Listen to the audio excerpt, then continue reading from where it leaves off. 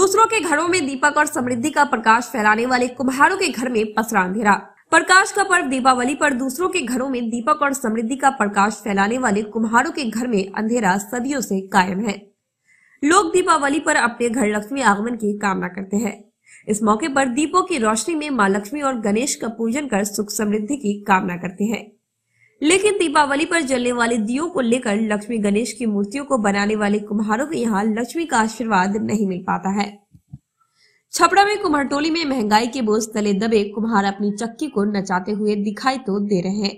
लेकिन उनके द्वारा निर्मित मिट्टी के पारंपरिक दियो और खिलौनों के कदरदानों की कमी ने उनकी कमर तोड़ रखी है। रहे तो बनत रहे।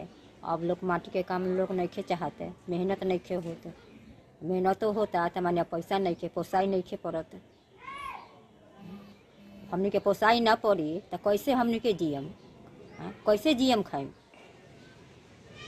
सरकार से का मांग करत नहीं मांग करत नहीं जे माने हमनी के अब आगे में कुछ बढ़ाई। हमनी के मेहनत ऊपर नहीं के होते मेहनतो अथी होता।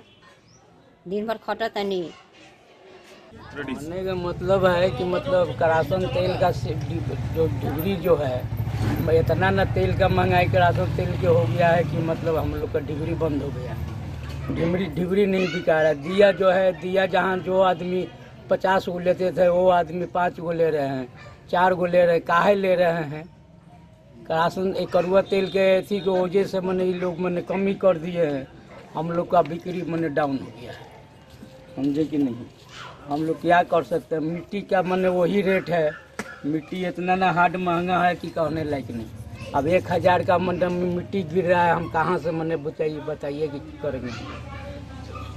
अब एक हज़ार के जब मिट्टी गिराएँगे या जड़ना है अब इसी पर जोड़ लीजिए कि कितना हम क्या करेंगे? कितना बचत होगा हमको?